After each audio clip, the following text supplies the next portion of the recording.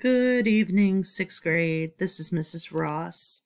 Um, I will not be at school on Friday the 22nd. Um, something has kind of come up all of a sudden. I have, I'm having a procedure done in Dallas and I'll be back at school on Monday.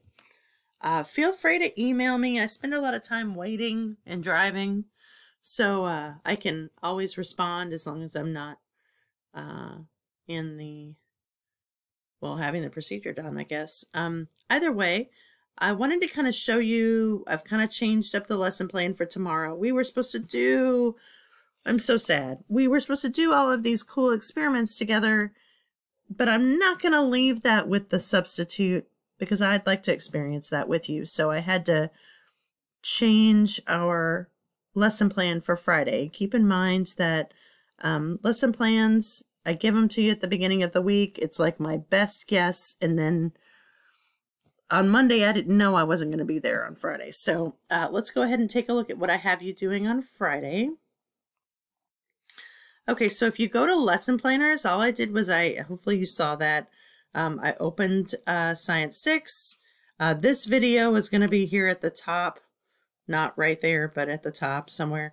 And I clicked on the weekly lesson plan. As you can see, I've got this week and I have next week posted. So I'm going to talk about both of those. So if you open this week, the 18th, I already have it open some here, somewhere down. That's the wrong one. Here we go.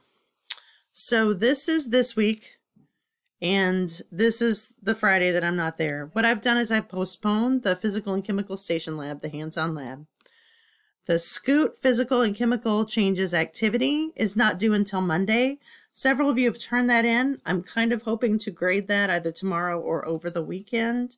Um, and it looks like, if you don't know what I'm talking about, if you go to, you know what, let me snap this. So let me go ahead and pull this over here. And then this is tomorrow. So let me show you where everything's at so you can find it in Module J, Unit 3, Lesson 1, Labs and Activities. Um, Scoot is right here. So if you need to print something out, um, whatever you need to do, that's due on Monday. Um, oh wait, I pulled the wrong one up here. Stink, stinker, McStinky face. I need this one. Why don't I? Let's see if I can do this. Ta-ta! Okay, so finish Scoot. And then there's a biblical integration uh, discussion.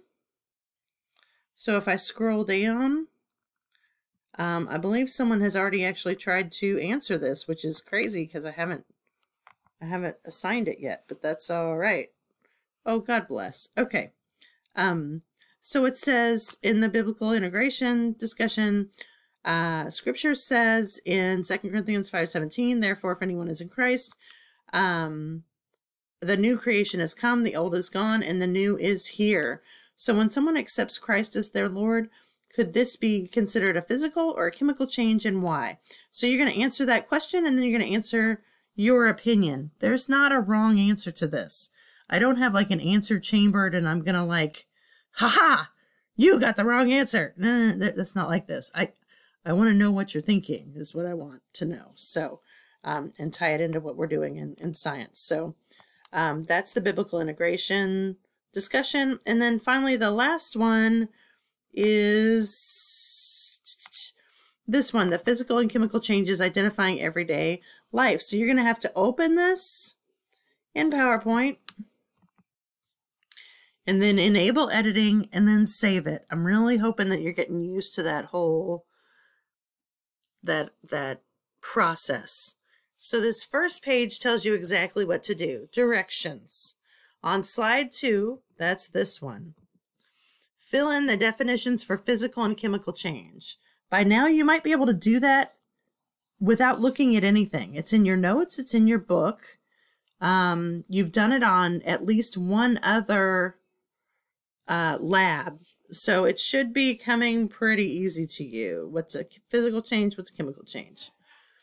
And then number two says view the physical and chemical changes in everyday life example cards in slides three through six. So slide three is here. So they're giving you these examples.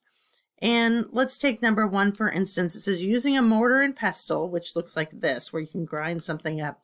You grind a substance into a powder, so a solid into a powder. Um, would that be considered physical or chemical?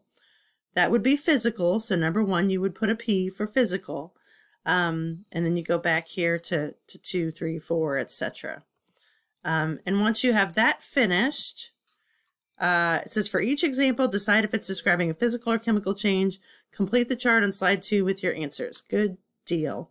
On slide seven, read the story. So let's go to slide, those are all the examples. Here's slide seven, the story. And it has these little um, things you can highlight things, you can move, okay? So what am I supposed to do here? Read the story and use the movable highlighter pieces to highlight the physical changes in purple and the chemical changes in orange. So let me see if I can find one. Let's see. Gosh, it's really small. I'm going to have to make this bigger. When my alarm clock went off at 7 o'clock, I hit the snooze a few times and finally got out of bed with excitement for the morning bowl of cereal. That's going to be a physical change. The bowl of cereal, I don't know if that counts as a physical change. I poured milk into my bowl. Okay. And then when it talks about the milk souring, that's a chemical change. Okay. So that's the on slide seven. And then complete the practice activities, which are here. This is kind of a wrap it up practice.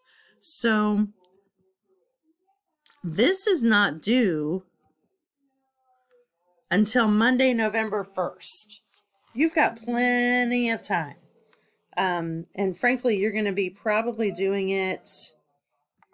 Uh, something's happening outside my door, but you're probably going to be doing it next week. So you can take a look at next week's.